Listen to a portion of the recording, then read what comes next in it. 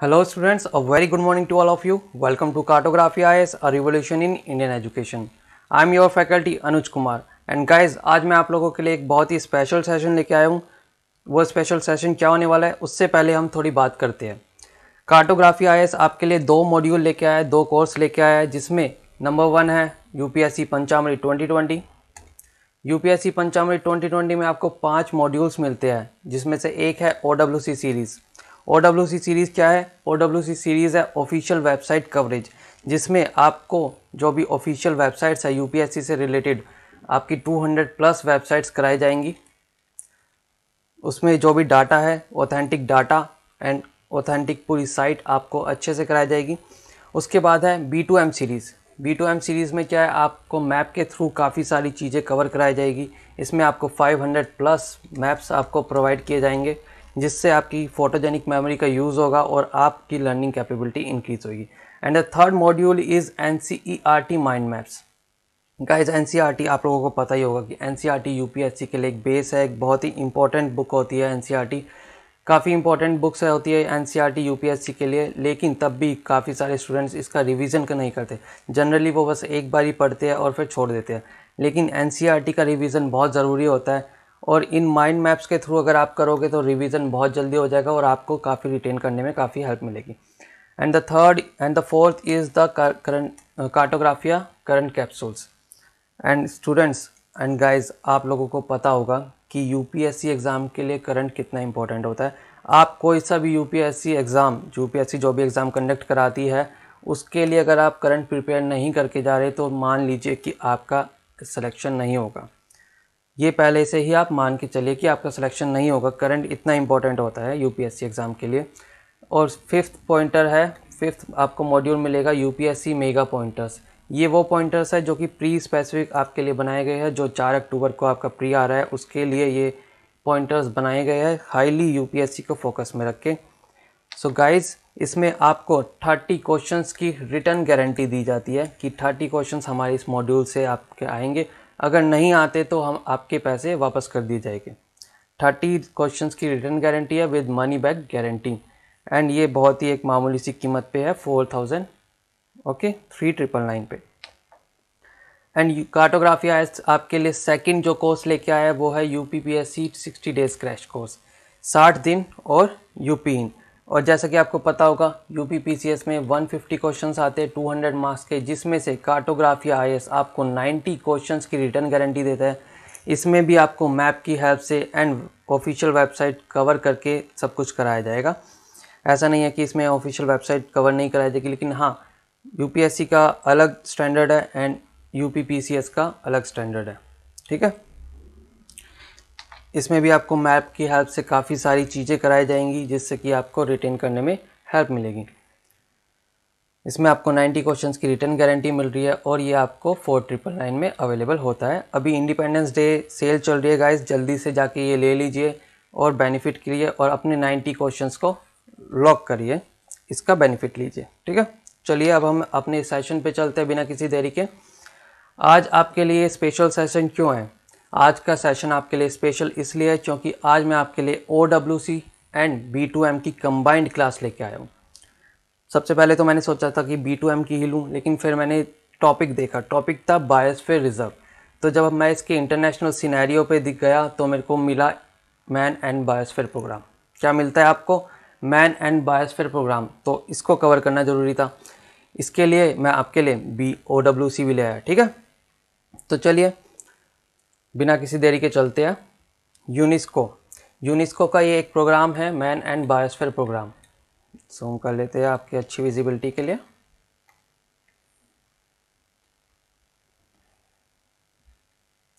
तो चलिए guys UNESCO का ये प्रोग्राम है, man and biosphere program. UNESCO की सबसे पहले हम बात कर लेते हैं, जब यूनिस्को का नाम आया तो यूनिस्को की फुल फॉर्म देख लेते हैं। मोस्ट ऑफ़ द स्टूडेंट्स को यही नहीं पता होता कि इसकी फुल फॉर्म क्या है।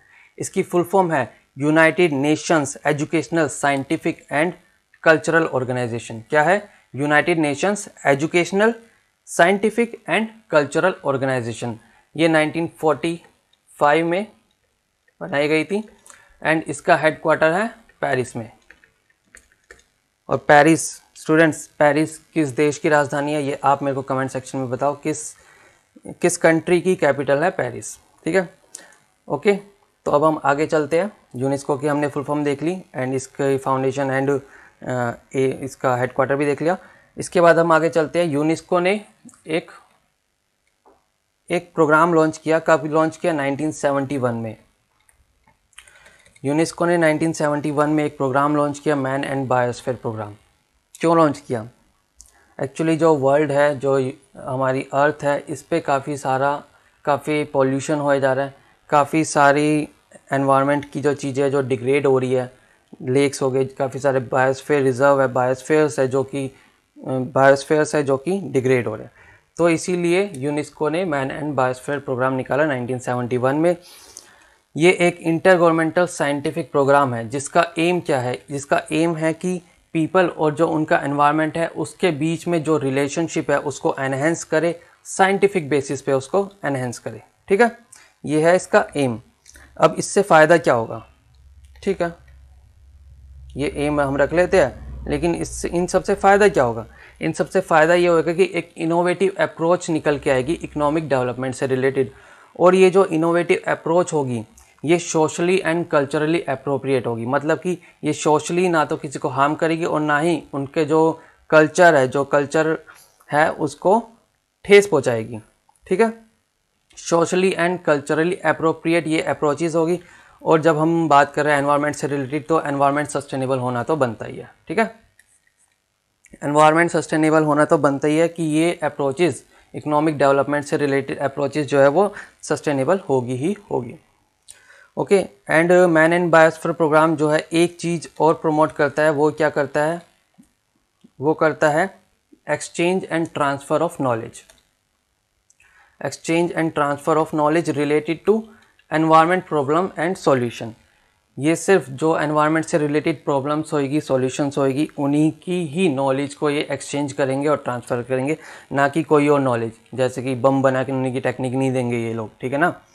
या फिर रोबोट बनाने की टेक्निक नहीं देंगे, और ना ही कोई साइंस एंड टेक से रिलेटेड टेक्निक की आपको रॉकेट कैसे बनानी चाहिए। जो भी एनवायरनमेंट से रिलेटेड प्रॉब्लम आ रही है, उनका क्या सॉल्यूशन है, उनसे रिलेटेड ही एक्सचेंज और exchange and transfer of knowledge को ये प्रमोट करता है मैन एंड बायोस्फेयर प्रोग्राम ठीक है? और एक चीज़ और करता है मैन एंड बायोस्फेयर प्रोग्राम वो क्या है? प्रिडिक्शन ये प्रिडिक्ट करता है कि आपका आज का एक्शन जो आज एक्शन ले रहे हैं, उसका आने वाले जो वर्ल्ड है, आने वाला जो कल है, उस पर क्या कॉन्सिक्वेंसेस पड़ेंगे? क्या कॉन्सिक्वेंसेस होएँगे आपके आज के एक्शन से कल के वर्ल्ड पे, ठीक है? इससे क्या होगा? इससे ये होगा, जैसे कि आपको कुछ पता चल जाए कि हाँ जैसे ऑयल है, आपको पता चल गया कि आने वाले साल में ख़त्म होने वाला है। तो अब क्या हो रहा है कि उसको सस्टेनेबली यूज़ करें। सस्टेनेबली यूज़ मतलब कि उसको ऐसे यूज़ करें कि आपकी जो आने वाली जनरेशन है, वो भी उसका फ़ायदा उठा पाए। तो ये तो ये किन किन के लिए बेनिफिशियल होएगा? ये बहुत ह्यूमन पॉपुलेशन एंड एनवायरनमेंट के लिए भी बेनिफिशियल होएगा। ठीक है ना? तो क्या क्या पढ़ा अभी आपने? अभी आपने यूनिस्को के बारे में देखा थोड़ा सा फुल फॉर्म क्या होती है, कब एस्टेब्लिश हुआ है एंड उसका हेडक्वार्टर इसके बारे में यूनिस्को ने एक प्रोग्राम निकाला है 1971 में मैन एंड बायोस्फीयर प्रोग्राम ये कैसा है? ये एक इंटर गवर्नमेंटल साइंटिफिक प्रोग्राम है। इसका एम क्या है? इसके, इस, और इसका, ये जो मैन एंड बायोस्फीयर प्रोग्राम है, इससे क्या हेल्प मिलेगी, क्या होगा, और क्या प्रिडिक्ट करता है मैन एंड बायोस्फीयर प्रोग्राम ये सब अब तक आपने देखा। अब हम आगे चलते हैं हम्म मेन गवर्निंग बॉडी देखने से पहले हम विज़न पे चलते हैं मैन एंड बायोस्फीयर प्रोग्राम का विज़न क्या है विज़न होता है लॉन्ग टर्म विज़न क्या विज़न है ओके okay? इसका विज़न है कि एक ऐसा वर्ल्ड क्रिएट करना है जहाँ की, जहाँ पे पीपल जो है वो कॉन्शियस हो अपने एनवायरनमेंट के रिलेटेड अपने जो उनका कॉमन फ्यूचर है, उसके रिलेटेड वो कॉन्शियस होए और जो उनका इंट्रैक्शन है प्लानट के साथ वो हो और वो सामूहिक कार्य करे एक ऐसी सोसाइटी बनाने के लिए जहाँ एक ऐसी सोसाइटी बनाए सामूहिक कार्य से, जो कि संपन्न हो, पूरी तरह से संपन्न हो thriving society in harmony with the biospherism ये जो लास्ट वाली जो लाइन है, वो बहुत इंपॉर्टेंट है इन बहुत इंपॉर्टेंट है in harmony with in the biospherism okay this is the vision of man and biosphere program क्या है vision a world where people are conscious of their common future and their interaction with planet and act accordingly to build thriving society in harmony within the biosphere reserve. Okay okay? Clear है सबको चलो अब हम man and biosphere program के थोड़ा bodies देख लेते हैं कौन कौन सी उसकी बॉडीज़ है मेन गवर्निंग बॉडी सबसे पहले आती है मेन गवर्निंग बॉडी है इसकी इंटरनेशनल कोऑर्डिनेटिंग काउंसिल 34 मेंबर्स की ये बॉडी है, इंटरनेशनल कोऑर्डिनेटिंग काउंसिल। और इसकी, इसको जो एडवाइस करने के लिए दो, इसको कह लो या मैन इन बायोस्फीयर प्रोग्राम को एडवाइस करने के लिए दो बॉडीज़ आती है, दो एडवाइजरी बॉडीज़ है, वो है, जिसका एक का नाम, खुद का नाम ही है the advisory committee and second is international support group I S G advisory committee provide scientific and technical advises to man and biosphere program and जो है इंटरनेशनल सपोर्ट ग्रुप वो कौन सी एडवाइस प्रोवाइड करता है? एक मैड्रिड एक्शन प्लान है, उसको implement करने के लिए क्या क्या एडवाइसेस चाहिए, वो सब इंटरनेशनल सपोर्ट ग्रुप प्रोवाइड करता है मैन एंड बायोस्फीयर प्रोग्राम को। ओके क्लियर है?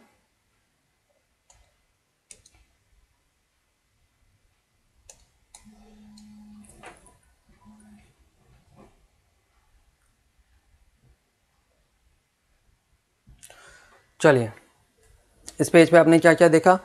कि एक तो आपने विज़न देखा और मेन गवर्निंग बॉडी कौन सी है और दो एडवाइजरी बॉडी कौन सी है मैन एंड बायोस्फीयर प्रोग्राम के लिए। चलिए, आगे चलते हैं। अब हम बात करते हैं मिशन की। एक सेकेंड गाइज़ एक सेकेंड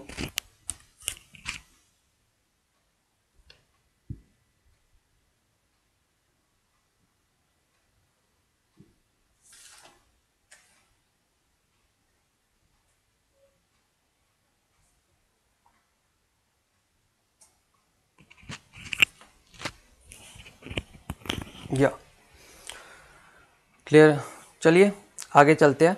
मिशन की हम बात करते हैं कि जो मैन एंड बायोस्फीयर प्रोग्राम है, उसका मिशन क्या है। सबसे पहले हम देखते हैं, इसका जो मिशन है, वो है 2015 से 2025 के लिए।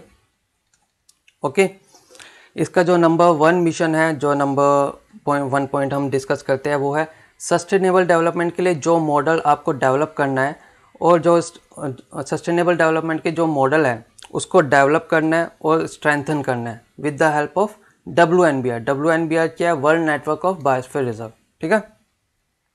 कि जो भी आपका सस्टेनेबल डेवलपमेंट के मॉडल्स हैं, उनको डेवलप करना है और स्ट्रेंथन करना है, किसकी हेल्प से? डब्ल्यू एन बी आर उसमें हेल्प करेगा। ठीक है?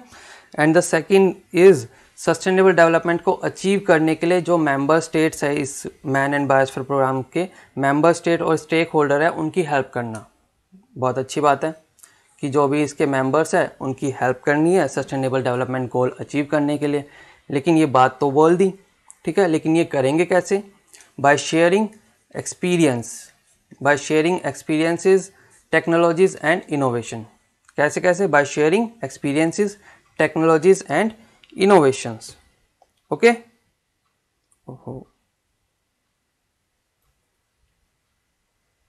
okay fine तो इसमें आपको साफ़ साफ़ पता चल रहा होगा कि ये जो शेयरिंग करेगा कौन।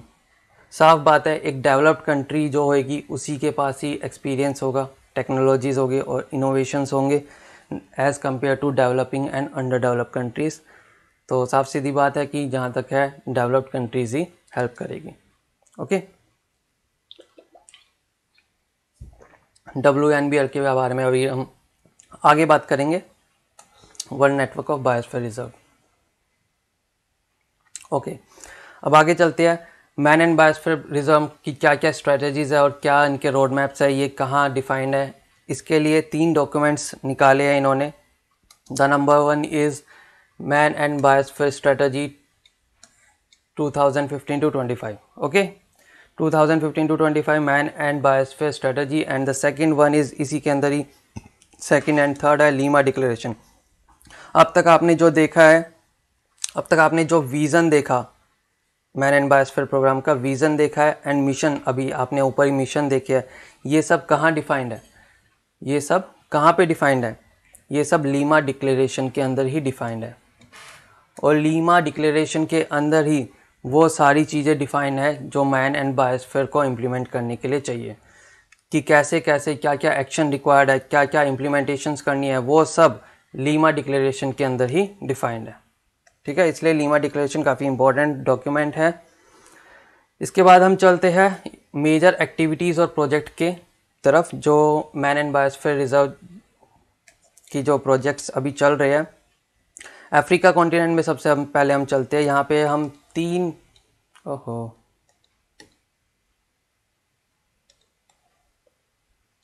अफ्रीका में हम मेजरली तीन बायोस्फेयर रिज़र्व देखेंगे। तीन प्रोजेक्ट्स देखेंगे। Number one is biosphere and heritage of lake Chad lake Chad Africa की एक बहुत ही इंपॉर्टेंट लेक है जो कि एक बहुत हिस्टोरिक इम्पोर्टेंस रखती है वहाँ के लिए भी। ऐसा देखा गया कि 1963 से 1998 के, के जो काल है जो टाइम पीरियड है इसके इस टाइम पे 95 परसेंट ये लेक जो है श्रैंक हो चुकी है गायब हो चुकी है सिकुड़ चुकी है।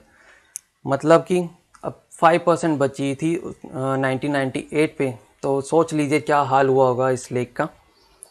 ओके, और जो ये लेक चड है, ये चार कंट्रीज़ से घिरी हुई है। कौन कौन सी? चड कैमरून नाइजर एंड नाइजीरिया तो चलो अब, हम इन कंट्रीज़ को देख लेते हैं सबसे पहले मैप पे।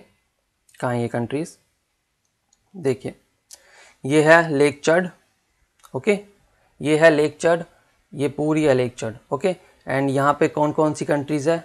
एक तो चड कंट्री है, Niger, Nigeria and Cameroon. Clear है सबको? विजिबल है सबको? Chad Niger, Nigeria and Cameroon.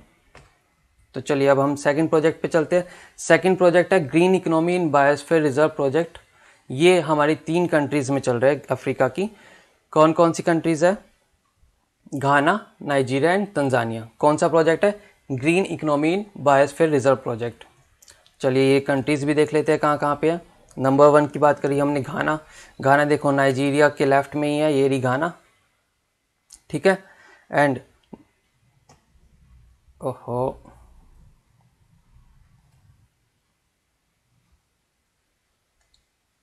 Hmm. कहाँ कहाँ चल रहे हैं? घाना नाइजीरिया और तंजानिया तंजानिया कहाँ है गाइस ये रहा तंजानिया ठीक है? तंजानिया में एक बहुत ही इंपॉर्टेंट माउंटेन है, वो आप मेरे को कमेंट सेक्शन में बताइए क्या है वो। अगर आपने G T S N Andreas खेली होगी तो उसमें भी वो उस माउंटेन का काफ़ी बारी नाम लेते हैं। शायद G T S N Andreas ये ओके आप मेरे को कमेंट सेक्शन में बताएँ, कौन सी वो माउंटेन है। तो चलिए अब हम आगे चलते हैं। और थर्ड जो प्रोजेक्ट चल रहा है, वो वो है no plastic a small gesture in our hand ये कहाँ चल रहा है? ये साउ टोमा एंड प्रिंसप एक कंट्री है। एक ही कंट्री है साउ टोमा एंड प्रिंसप जो एक आइलैंड कंट्री है अफ्रीका में। अफ्रीका कॉन्टिनेंट में अब ये कहाँ पे है? चलिए उसको देखते हैं। ये रही। साउ टोमो एंड प्रिंसप विजिबल है सबको? या जूम कर दिया जाए और? ये रही। साउटोमो एंड प्रिंसेप क्लियर है सबको? तो चलिए अब हम एशिया की तरफ़ चलते हैं। एशिया एंड पैसिफिक रीजन में कौन सा प्रोजेक्ट चल रहा है यूनेस्को का? UNESCO man and biosphere programme का, ठीक है? ये जो प्रोजेक्ट है, वो है UNESCO chic group and biosphere integrated rural urbanisation programme. ये बेसिकली चाइना में चल रहा है और इसका मेन ऑब्जेक्टिव क्या है? जो भी इंटी, जो भी रूरल लैंड है, उन सबको कंसोलिडेट करना है और वहाँ पे न्यू एग्रीकल्चरल प्रोजेक्ट्स लाने हैं। और अब ये जो न्यू एग्रीकल्चरल प्रोजेक्ट्स आएँगे इनके लिए फार्मर्स को कुछ ट्रेनिंग भी देनी पड़ेगी तो इसमें ट्रेनिंग भी प्रोवाइड कराई जाएगी। और जो भी आपके रूरल विलेजेस है, उनको शिफ्ट करना है किसकी तरफ़ अर्बनाइज रूरल विलेज की तरफ़, ठीक है? यह है इसका मेन ऑब्जेक्टिव इंडिया में मतलब एशिया में कौन सा प्रोजेक्ट चल रहा है? UNESCO chic group and biosphere integrated rural urbanisation programme अब कोई एनवायरनमेंट के लिए अच्छा करता है बायोस्फीयर रिज़र्व से रिलेटेड कुछ काम अच्छे करता है तो गवर्नमेंट जो यूनेस्को है यूनेस्को उनको कुछ प्राइजेस भी देती है। जैसे कि तीन प्राइज़ यूनेस्को ने निकाले हुए हैं। एक है UNESCO Sultan Qaboos prize for environmental conservation ये काफ़ी इंपॉर्टेंट प्राइज़ है इस टाइम के लिए, क्योंकि ये एक इंडिया ये क्योंकि ये इंडिया को मिला है 2019 में। किसको मिला ये अशोका ट्रस्ट को, ठीक है? सेकंड जो अवार्ड है वो है MAB young scientist award MAB, young test scientist award, ये जनरली इसके लिए टेन साइंटिस्ट को चूज़ किया जाता है देने के लिए, लेकिन 2019 में अभी तक सेवन विनर्स को ही चूज़ किया है, ठीक है? And the third prize is Michael Batisse award for biosphere reserve management third is Michael Batisse award for biosphere reserve ये 2019 में जोस सेंटिसो को दिया गया है। ये महिलाएँ और ये स्पेन से बिलोंग करती है, ठीक है? जोस सेंटिसो ये तीन अवार्ड्स यूनेस्को निकालता है। कौन कौन से? UNESCO Sultan Qaboos prize for environmental conservation, जो अशोका ट्रस्ट को दिया गया man man and biosphere young scientist award जो कि यंग साइंटिस्ट को दिया जाता है। जनरली टेन साइंटिस्ट होते हैं, लेकिन इस बार सेवन को दिया गया and the third one is Michael Batisse award for biosphere reserve management and ये इस बार जॉर्ज सेंटिसो को दिया गया okay okay?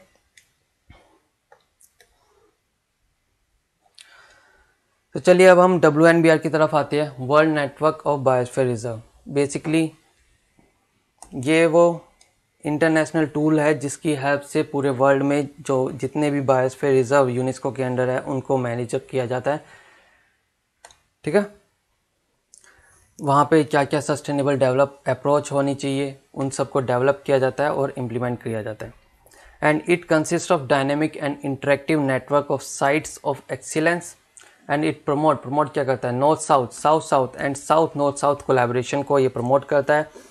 And it also promotes best practices among biosphere reserve और ये प्रोमो ये भी प्रमोट करता है कि जो बायोस्फीयर रिज़र्व है, वहाँ पे बेस्ट प्रैक्टिसेस हो रही हो best practices among biosphere reserve okay तो चलिए अब हम आगे चलते हैं. एंड जो डब्ल्यू एन बी आर है, ही वो बॉडी है जो कि आइडेंटिफाई करती है कि कौन से बायोस्फीयर रिज़र्व जो है वो यूनेस्को के अंदर आने चाहिए। तो चलिए, अब हम देखते हैं कितने बायोस्फीयर रिज़र्व है जो कि यूनेस्को के अंडर है। जैसे कि शायद मैंने अभी आपको पहले ही बताया कि 701 बायोस्फीयर रिज़र्व जो है वो यूनेस्को के अंडर आते हैं और ये 124 कंट्रीज़ में है। ठीक है? 124 कंट्रीज़ में है इसमें जो सबसे कम बायोस्फीयर रिज़र्व किस एरिया में है, वो है अरब स्टेट्स में। ओनली थर्टी थ्री एंड सबसे मैक्सिमम है, जो सबसे ज़्यादा है, वो है यूरोप एंड नॉर्थ अमेरिका में थ्री ज़ीरो टू क्लियर है सबको? यूरोप एंड नॉर्थ अमेरिका में मैक्सिमम है थ्री ज़ीरो टू ओके अब हम बात करते हैं बायोस्फीयर जो है, वो कौन कौन से इकोसिस्टम है कौन कौन से इकोसिस्टम्स को प्रोटेक्ट करता है। इसके अंदर कौन कौन से इकोसिस्टम आते हैं? जनरली लोग सोचते हैं कि सिर्फ़ फॉरेस्ट का एरिया ही आता है। ऐसा नहीं है। इसमें काफ़ी सारे एरिया आते हैं, जैसे कि dry land mangroves marine coastal and island area mountain savanna tropical forest and wetlands ठीक है? ये सब इकोसिस्टम बायोस्फीयर रिज़र्व के अंदर आते हैं। अगर हम इसमें ड्राईलैंड की बात करें तो 70 साइट्स जो है, वो जो सेवेंटी साइट्स है मैप की मैन एंड बायोस्फीयर प्रोग्राम की, वो ड्राई लैंड एरिया कवर करती है. And second is mangrove mangrove क्या होता है गाइस मैनग्रूव वो एरिया होते हैं जो लैंड और सी जहाँ पे मिल रहे होते हैं, वहाँ उस एरिया पे मैनग्रूव्स बनते हैं और ये बहुत ही इम्पोर्टेंट होते हैं किसी भी कोस्टल रीजन के लिए. और ये देखा गया कि 1980 से अब तक 20 परसेंट जो मैनग्रूव्स है वर्ल्ड के, वो लॉस्ट हो चुके हैं. एंड इसके बाद हम चलते हैं marine coast and island areas पे।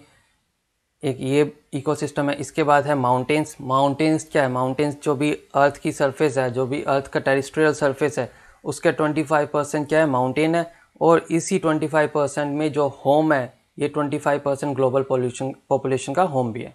ठीक है? एंड सवाना सवाना क्या है गाइस सवाना ग्रासलैंड्स होते हैं। और भी काफ़ी तरह के ग्रासलैंड होते हैं, जैसे पुश्तैच हो गया, वेल्ड हो गया, और ये सवाना ग्रासलैंड कहाँ होते हैं, ये आप मेरे को कमेंट सेक्शन में बताइए।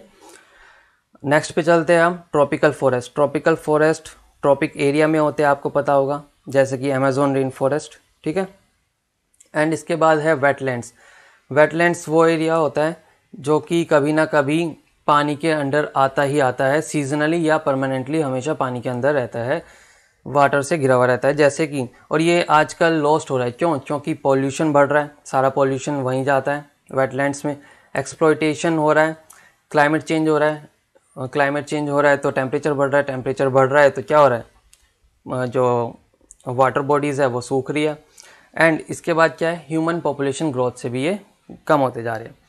अब जो वेटलैंड्स हैं, उनकी कंजर्वेशन के लिए एक कन्वेंशन है रामसार कन्वेंशन इसको हम अलग से बाद में देखेंगे।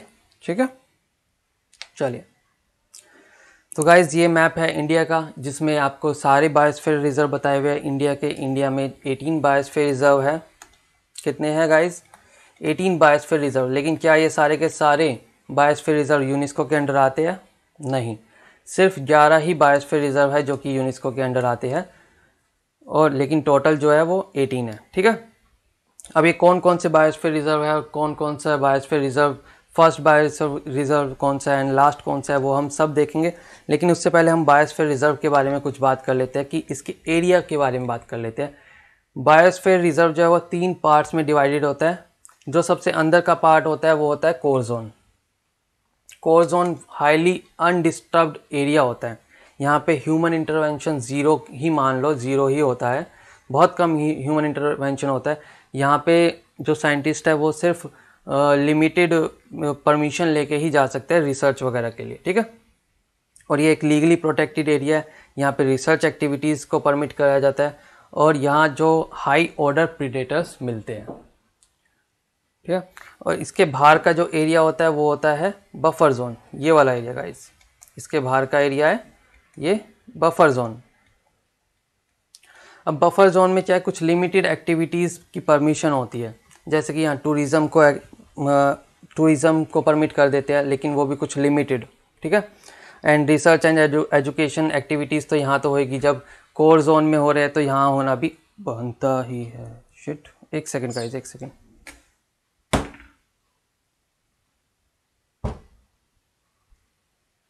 ओके एंड यहाँ पे फिशिंग एंड ग्रेजिंग की भी परमिशंस है। तो चलिए। एंड इसके बाहर का जो एरिया है, वो है ट्रांजिशन जोन ये वाला एरिया है ट्रांजिशन जोन ओके इसको हम मैन्युपुलेटिंग जोन भी बोलते हैं। ये आउटर मोस्ट पार्ट होता है किसी भी बायोस्फीयर रिज़र्व का। और यहाँ पे मोस्ट ऑफ़ द एक्टिविटीज़ को अलाउड किया जाता है, जैसे कि fishing farming and even mining is also allowed in this area and human settlement भी ह्यूमन सेटलमेंट को भी अलाउड किया जाता है ओके तो चलिए अब हम देखते हैं फ़ंक्शंस ऑफ़ बायोस्फीयर रिज़र्व क्या है। फ़ंक्शंस है, सबसे पहले है कंजर्वेशन कंजर्वेशन किस किस का? मेन फोकस होता है लैंडस्केप एंड इकोसिस्टम का। अगर हम मेन फोकस रखते हैं लैंडस्केप एंड इकोसिस्टम पे तो डायरेक्टली और इनडायरेक्टली इनडायरेक्टली हम बात करते हैं तो स्पीसीज एंड जेनेटिक रिसोर्स का भी कंजर्वेशन होता ही होता है, ठीक है? इसके बाद ये डेवलपमेंट में भी हेल्प करते हैं, जैसे प्रमोट करते हैं economic and sustainable human development को, और लॉजिस्टिक सपोर्ट को भी ये सिस्टम का लॉजिस्टिक सपोर्ट सिस्टम को भी ये हेल्प करते हैं, कैसे? रिसर्च एंड एनालाइजिंग में। ठीक है स्टूडेंट्स तो चलिए अब हम अपने मैप पे आते हैं। बायोस्फीयर रिज़र्व पे। इंडिया में टोटल 18 बायोस्फीयर रिज़र्व है, जिसमें से 11 जो है वो 11 बायोस्फीयर जो है वो यूनेस्को के अंडर है। ठीक है? अब यूनेस्को के अंडर यहाँ पे कौन कौन से है? जो रेड मार्क से, जो ऐसे रेड मार्क से बॉर्डर्ड है, वो है यूनेस्को के अंडर। ठीक है? तो चलिए, अब हम स्टार्ट करते हैं बायोस्फीयर रिज़र्व इंडिया के। सबसे पहले हम देखेंगे सबसे फ़र्स्ट बायोस्फीयर रिज़र्व कौन सा बना है इंडिया का। सबसे फ़र्स्ट जो बना है, वो है नीलगिरी बायोस्फीयर रिज़र्व ये तीन स्टेट्स में आता है कर्नाटक तमिलनाडु और केरला में। नीलगिरी बायोस्फीयर रिज़र्व 1986 में बना था। और ये पहला बायोस्फीयर रिज़र्व है इंडिया का भी, और ये पहला ही बायोस्फीयर रिज़र्व है जो कि यूनेस्को के अंडर आया 2000 में। ओके 2000 में ये यूनेस्को के अंडर आया। तीन स्टेट्स है और यहाँ पे एक एडिशनल इन्फॉर्मेशन मैं देता हुआ जाऊँगा कि यहाँ पे कौन सी क्रिटिकली एंडेंजर्ड स्पीसीज़ है जो फाउंड होती है। यहाँ पे क्रिटिकली एंडेंजर्ड स्पीसीज़ है Nilgiri, tahr and lion tailed macaque okay clear है सबको? Nilgiri, tahr and lion tailed macaque तो चलिए अब हम फ़र्स्ट हमने देख लिया, अब हम लाइन वाइज देखते हैं। सबसे ऊपर से हम स्टार्ट करते हैं। सबसे ऊपर है कोल्ड डेजर्ट, जो है हिमाचल प्रदेश में। यहाँ पे कौन सा क्रिटिकली एंडेंजर्ड स्पीस है? यहाँ स्नो लेपर्ड मिलता है, ठीक है? स्नो लेपर्ड यहाँ पे क्रिटिकली एंडेंजर्ड है। इसी के नीचे, हिमाचल प्रदेश के नीचे ही है। ये ये वाला एरिया है गाइस उत्तराखंड। उत्तराखंड में नंदा देवी बायोस्फीयर रिज़र्व है। ये इंडिया का सेकंड बायोस्फीयर रिज़र्व था। और बहुत ही अच्छी जगह है। आप जाइए, घूम के आइए। आप जाइए और घूम के आइए, बहुत मज़ा आएगा आपको। ठीक है? इसके बाद हम राइट में चलते हैं, ये है सिक्किम। सिक्किम में है आपके कंचनजंगा। कंचनजंगा बायोस्फीयर रिज़र्व नाम से ही आपको वैसे पता चल गया होगा। यहाँ पे आपको रेड पैंडा क्रिटिकली एंडेंजर्ड मिलेगा। ओके यहाँ पे रेड पैंडा क्रिटिकली एंडेंजर्ड है। और ये काफ़ी इंपॉर्टेंट है अभी रिसेंट के लिए। क्यों? क्योंकि 2018 में इसको यूनेस्को ने अपने अंडर ले लिया है मैन एंड बायोस्फीयर प्रोग्राम में। इसीलिए काफ़ी इंपॉर्टेंट है। 2018 में इसको, यूनेस्को ने अपने अंडर ले लिया है कंचनजंगा बायोस्फीयर रिज़र्व को। अब हम और राइट में चलते हैं। राइट में क्या आया हमारे पास? ये कौन सा स्टेट है गाइज़ ये असम। असम में आपके दो बायोस्फीयर रिज़र्व है, एक है मानस एंड डीबू साइकोवा मानस एंड डीबू साइकोवा यहाँ पे भी आपको रेड पेंडा रेड पेंडा काफ़ी मतलब एंडेंजर्ड स्पीसीज़ है यहाँ पे, काफ़ी एंडेंजर्ड स्पीसीज़ है यहाँ पे रेड पेंडा और साथ साथ golden leopard golden langur sorry golden langur ठीक है स्टूडेंट्स असम में कौन कौन से है? दो है, मानस एंड डीबू साइकोवा। इसी के ऊपर हम देखते हैं अरुणाचल प्रदेश अरुणाचल प्रदेश में है दिहांग दिबांग। ये एक वहाँ पे एक वैली भी है तो आप इसको कनेक्ट कर सकते हैं कि दिहांग दिबांग बायोस्फीयर रिज़र्व कहाँ होगा, जहाँ उसकी वैली है, अरुणाचल प्रदेश में। ओके एंड फिर हम असम के नीचे आते हैं। असम के नीचे है मेघालय। ये रहा गाइज़ मेघालय। पेन का कलर चेंज कर लेते हैं। हाँ ये है मेघालय, ठीक है? मेघालय में आपका है नोकरेक बायोस्फीयर रिज़र्व और इसी के नीचे और हम आते हैं, यह है वेस्ट बंगाल। वेस्ट बंगाल में सुंदरवन तो आपने सुना ही होगा। सुंदरवन किस लिए फ़ेमस होता है? रॉयल बंगाल टाइगर के लिए, है ना? रॉयल बंगाल टाइगर यहाँ क्रिटिकली एंडेंजर्ड स्पीसीज़ है। ये कहाँ है? सुंदरवन कहाँ है? वेस्ट बंगाल में इसी के नीचे है उड़ीसा। उड़ीसा में कौन सा बायोस्फीयर रिज़र्व है? सिमलीपाल। और इसी के नीचे और हम आते हैं तेलंगाना। तेलंगाना में आपका शेषाचलम। तेलंगाना में आपका शेषाचलम बायोस्फीयर रिज़र्व और फिर और हम नीचे आते हैं। नीलगिरी हमने देख लिया है। Nilgiri biosphere reserve first biosphere reserve है। 1986 में बना है। काफ़ी इंपॉर्टेंट है और काफ़ी बार एग्ज़ाम में पूछा भी जा चुका है। इसी के नीचे है, नीलगिरी बायोस्फीयर रिज़र्व के नीचे है अगस्त मलाई बायोस्फीयर रिज़र्व अगस्त मलाई एक पीक भी है। आप देख भी सकते हैं अपने माउंटेन वाले रीजन में मैप में। अगस्त मलाई बायोस्फीयर रिज़र्व ठीक है? यहाँ पे भी lion tail macaque critically endangered है।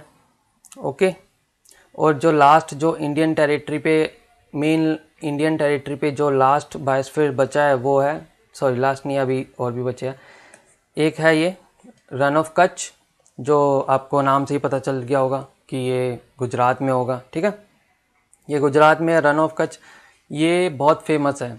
यहाँ पे दो चीज़ें काफ़ी ज़्यादा मतलब काफ़ी काफ़ी काफ़ी काफ़ी क्रिटिकली एंडेंजर्ड है वो दो स्पीसीज़ वो कौन सी और एग्ज़ाम में भी काफ़ी बार आ चुकी है, वो है एक है द ग्रेट इंडियन बस्टर्ड ये एक पक्षी है ओके एंड एक है wild ass Indian wild ass okay ये दो स्पीसीज़ है जो कि यहाँ पे क्रिटिकली एंडेंजर्ड है। अब हम चलते हैं इंडिया के बिल्कुल बीचों बीच बीचों बीच है एमपी एमपी की बात करते तो यहाँ पे है पंचमणि बायोस्फीयर रिज़र्व जहाँ पे आपको जाइंट स्क्रिल मिलती है फ्लाइंग स्क्रिल मिलती है। अगर आपको याद हो, आपने अभी जो मूवी आई थी मोगली वाली उसमें जो गिलहरिया थी, वो उड़ रही थी, वो एक्चुअली यहीं की एमपी की एमपी के ही फॉरेस्ट की थी वो।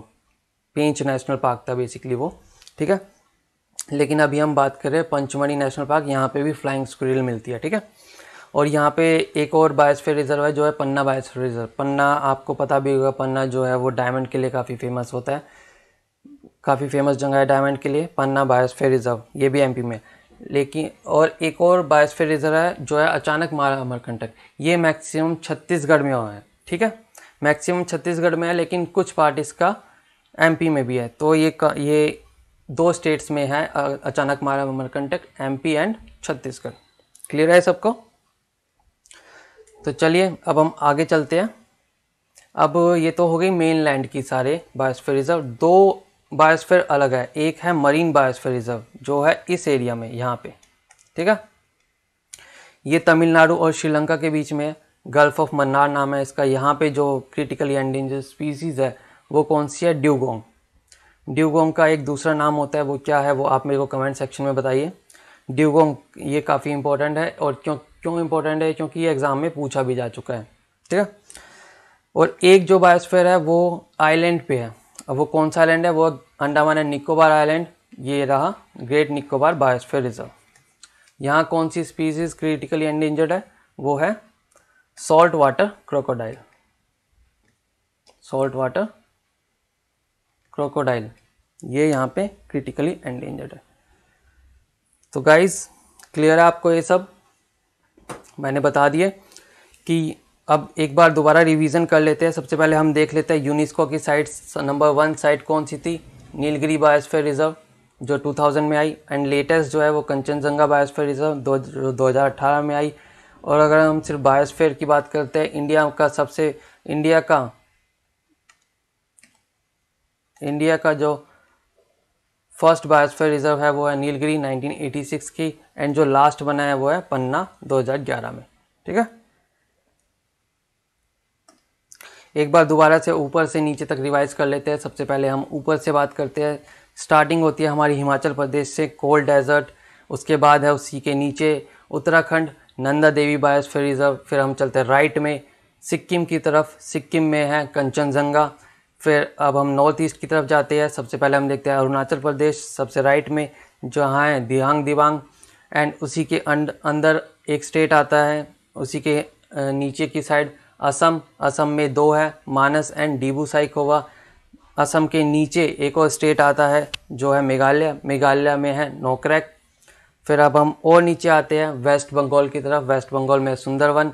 सुंदरवन के नीचे है सिमलीपाल। सिमलीपाल के नीचे है शेषाचलम। सिमलीपाल है उड़ीसा में, शेषाचलम है तेलंगाना में। एंड इसी के नीचे अगर हम और फार साउथ में आते हैं तो यहाँ हमें पानी के अंदर एक बायोस्फीयर रिज़र्व मिलता है, जो है gulf of Mannar. Marine biosphere reserve और फिर अब हम लेफ़्ट की तरफ़ चलते हैं। लेफ़्ट से स्टार्ट करते हैं। इंडिया के लेफ़्ट से गुजरात से हम स्टार्ट करते हैं। गुजरात में है रन ऑफ़ कच्छ एंड फिर रन ऑफ़ कच्छ से हम थोड़ा राइट में आते हैं। एमपी में एमपी में है पंचमढ़ी एंड पन्ना और एक है अचानक मारा मरकंटक जो दो स्टेट्स में आता है एमपी एंड छत्तीसगढ़ में। अब हम दोबारा साउथ की तरफ़ चलते हैं।